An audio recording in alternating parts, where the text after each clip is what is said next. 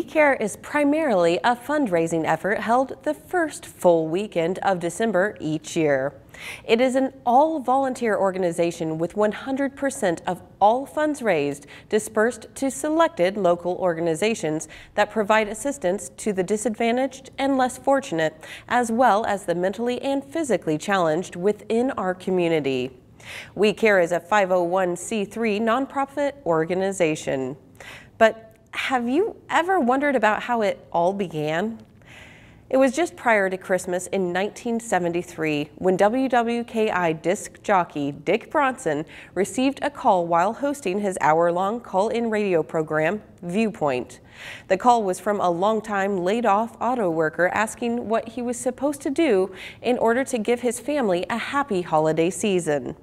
Bronson offered to donate $20 half of what was in his wallet if others listening would do the same.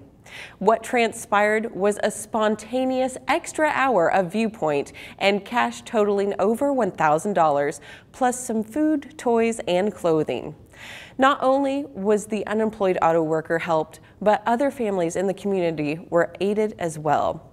With the first solicitation, Dick Bronson established a continuing philosophy whereby every dime and or item donated would be used to assist the underprivileged. The funds raised by We Care are dispersed among five organizations and one fund in Kokomo. The Kokomo Rescue Mission, the Salvation Army, the Kokomo Tribune sponsored Goodfellows, Bonavista Rehabilitative Services, the Mental Health America of Howard County's Holiday Gift Lift program, and the We Care Hope Fund for long-term gifting.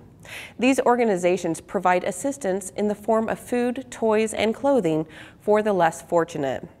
We Care aims to respond with love and care to meet the needs of the impoverished so they, they all may enjoy the joy and hope of the Christmas season and have proper food and clothing for the winter months.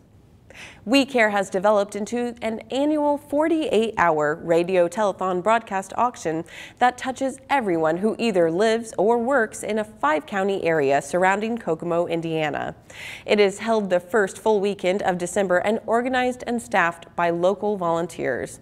All auction items are donated and vary with the imagination including handmade Afghans, crochet items, original artwork, coins, fine jewelry, guns, expertly crafted knives, collectibles, antiques, furniture, resort vacations, land, automobiles, and the list continues. Nearly 40,000 bid tickets are used for the more than 3,360 items which are sold during the marathon auction.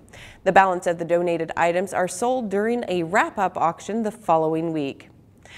We Care exemplifies volunteerism at its best as more than 700 individuals from every walk of life give their time for the 48-hour marathon telethon. It is a coordinated effort of 26 departments all working together for a common goal.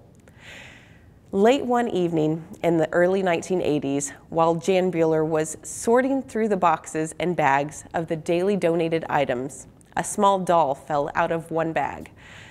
Instantly, the look on the doll's face touched the hearts of those working.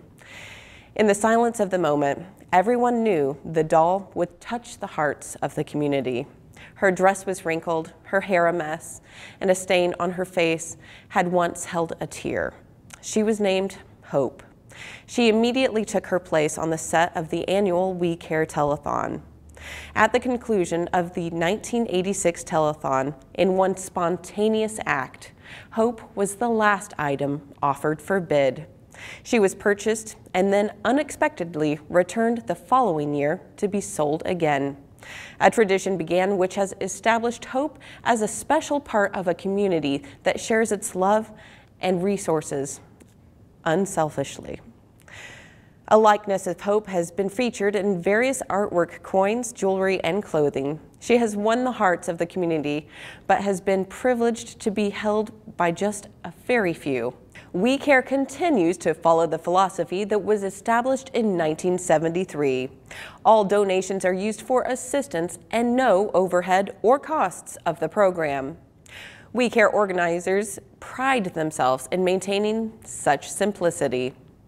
A mirror reflection of the heart of this community is seen in the eyes of our children as they experience the blessing of Christmas and the wonderment and mystery of Santa. So, if you have ever wondered about the history of We Care, now you know.